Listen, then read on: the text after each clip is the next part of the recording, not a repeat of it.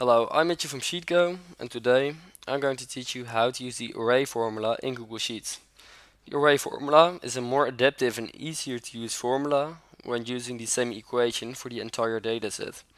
To show you the benefits, I will use the same equation with and without the array formula to show you the difference. So first I will use the normal equation, which is unit price times received, which is equal to the cost price of a certain product.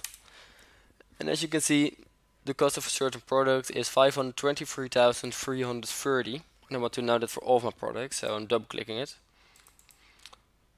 And now I'm going to use the array formula. So same equation. This time I'm using array formula.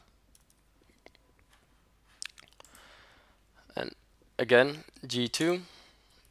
But I'm using the column to automatically make changes. So um, if you want to, if you find this difficult and you want to read more, please click on link down below in the description, as this video is based on a blog post.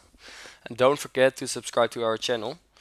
But I will go through it very briefly. So I'm using G2, G times I to colon I and close brackets.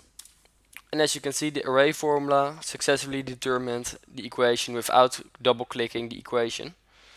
So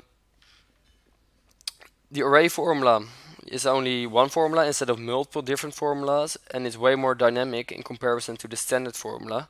So this is why I'm using the array formula and I want to show you one uh, other example.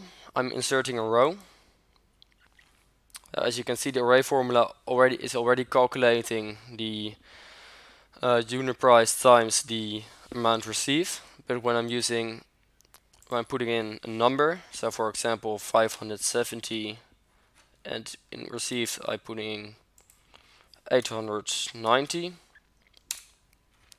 then the array formula successfully determined the new equation. Well, the equation formula doesn't, as I need to drag it down. So this is why I prefer using the array formula and I want to thank you for your time. If you liked the video please put a thumbs up and goodbye.